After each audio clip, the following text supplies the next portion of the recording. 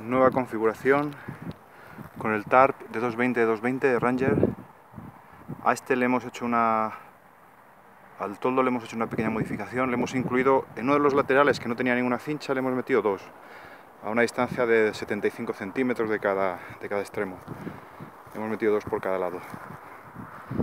Vale, esta configuración es está bien, no es eh, esta típica que acaba aquí haciendo como una especie de doblez va directa al, mástil, ¿vale? Al ser tan solo de 220, parece que no, pero 80 centímetros menos se nota a la hora de montarlo. Entonces, bueno, está bien, tiene las mismas características que la otra, está muy bien cubierta por, por todos los laterales y bueno, la puerta como el otro, la otra también tiene una puerta y eh, para una persona es, yo creo que perfecta, porque es recogida el calor lo concentraría bastante bien, no tendría puntos de fuga del, del calor.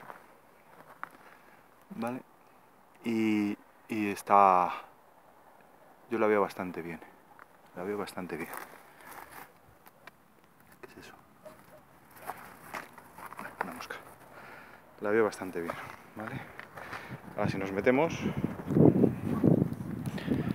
que he hecho, una de las cosas que he hecho como variación ha sido poner aquí arriba, aquí dentro, no sé si se verá bien, yo ahora mismo no lo veo, pero bueno, supongo que se verá, dos, dos líneas madre apuntando a, a cada una de las piquetas que está, para mantener tenso el, este techo y no tener que poner dentro ninguna piqueta, ni tener que poner eh, fuera ningún palo que lo sostenga.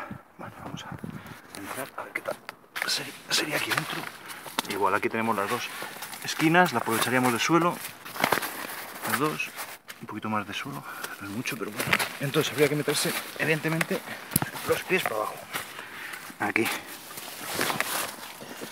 Ahí abajo se puede dejar material. Aquí estaremos tumbados. Un poquito justito. La verdad, yo ahora estoy tocando ya el... De hecho, habría que dormir. La verdad que hay que dormir un poquito encogido. O sea, hay que tumbarse aquí un poco encogido. No, porque de altura bien, de altura bien, pero aquí un poquito encogido, si no, el, como vemos, da abajo. Pero bueno, y luego la vertical, esta sería la vertical, todavía nos quedarían como 20-30 centímetros, podríamos, hombre, si dormimos estirados, lo único dormiríamos justo a ras, casi casi en la puerta, Pero bueno. Bien, bien. Porque de otra manera dormir, no sé, yo creo que no se podría.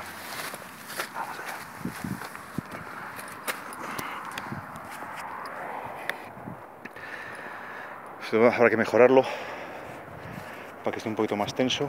Habrá que poner aquí alguna alguna piedrecita que tire de él para mantenerlo un poco más tenso y bueno, nada más.